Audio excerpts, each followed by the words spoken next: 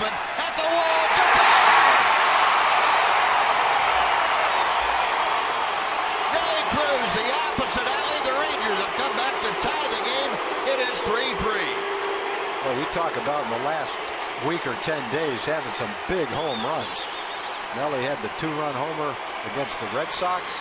He had the home run last night that tied the game, and now they when the Astros take a nice lead on Dominguez's second home run of the game against Yu Darvish, Nelly Cruz comes right back with a two-run homer of his own to tie the game and give Yu Darvish new life. Second night in a row, we have a winner at our Sonic Slam inning, and Nelly Cruz has done it both times.